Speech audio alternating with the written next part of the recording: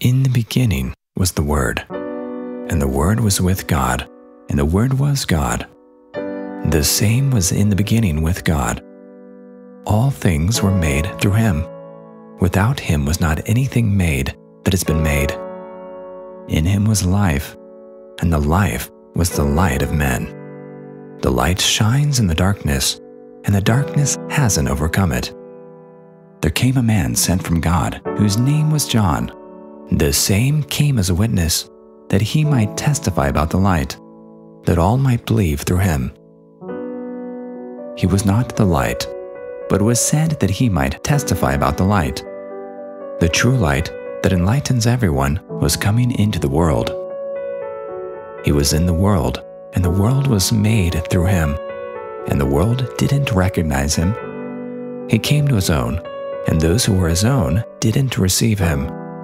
But as many as received him, to them he gave the right to become God's children, to those who believe in his name, who were born not of blood, nor of the will of the flesh, nor of the will of man, but of God. The Word became flesh and dwelt among us. We saw his glory, such glory as of the one and only Son of the Father, full of grace and truth.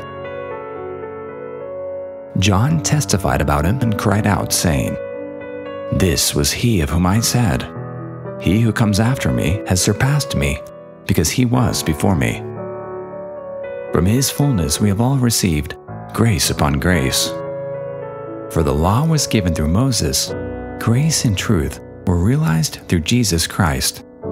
No one has seen God at any time, the one and only Son who is in the bosom of the Father he has declared him. This is John's testimony when the Jews sent priests and Levites from Jerusalem to ask him, Who are you? He declared and didn't deny, but he declared, I am not the Christ. They asked him, What then? Are you Elijah? He said, I am not. Are you the prophet? He answered, No. They therefore said to him, Who are you? Give us an answer to take back to those who sent us. What do you say about yourself? He said, I am the voice of one crying out in the wilderness. Make straight the way of the Lord, as Isaiah the prophet said. The ones who had been sent were from the Pharisees. They asked him, Why then do you baptize, if you are not the Christ, nor Elijah, nor the prophet? John answered them, I baptize in water, but among you stands one you don't know he is the one who comes after me, who is preferred before me, whose sandal straps I am not worthy to loosen. These things were done in Bethany beyond the Jordan, where John was baptizing. The next day, he saw Jesus coming toward him and said, Behold, the Lamb of God, who takes away the sin of the world. This is he of whom I said, After me comes a man who ranks before me, because he was before me. I didn't know him, but for this reason I came baptizing in water, that he would be revealed to Israel.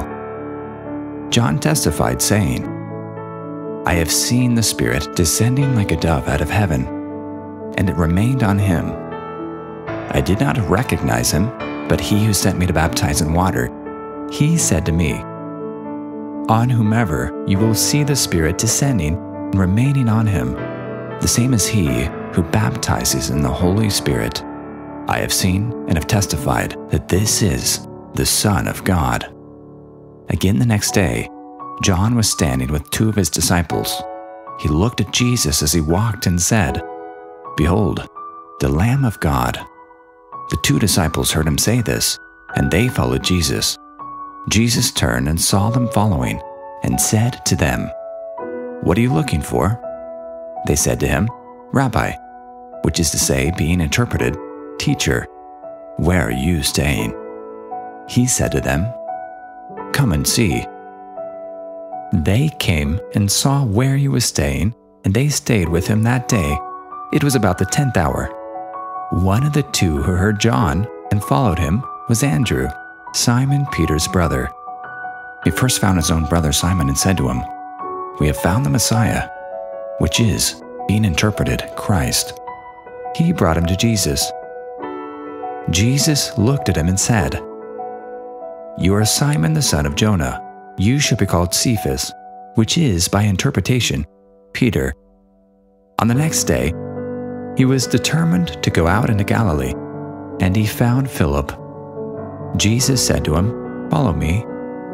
Now Philip was from Bethsaida, the city of Andrew and Peter. Philip found Nathanael and said to him, We have found him of whom Moses in the law and the prophets wrote, Jesus of Nazareth, the son of Joseph. Nathanael said to him, Can any good thing come out of Nazareth? Philip said to him, Come and see. Jesus saw Nathanael coming to him and said, Behold, an Israelite indeed, in whom there is no deceit. Nathanael said to him, How do you know me? Jesus answered him, Before Philip called you, when you were under the fig tree, I saw you. Nathanael answered him, Rabbi, you are the Son of God. You are King of Israel. Jesus answered him, Because I told you, I saw you underneath the fig tree, do you believe? You will see greater things than these. He said to him, Most certainly I tell you, hereafter you will see heaven opened and the angels of God ascending and descending on the Son of Man.